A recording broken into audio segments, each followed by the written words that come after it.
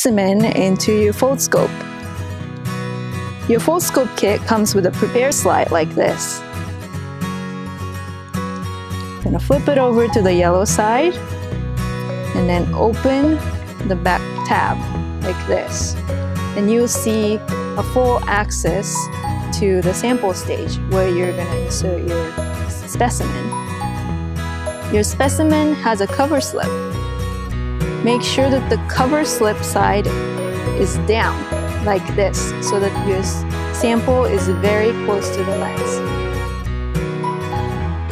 Open the tab so that you see the arrows and the arrows point to where you're inserting the slide.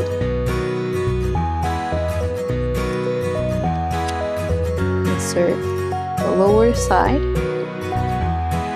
then flip over the yellow tab again and you'll see the arrows which points where you insert the other end of the slide.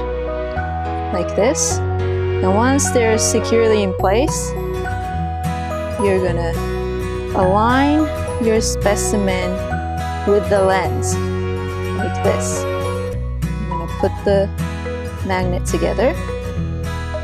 And then face the blue side.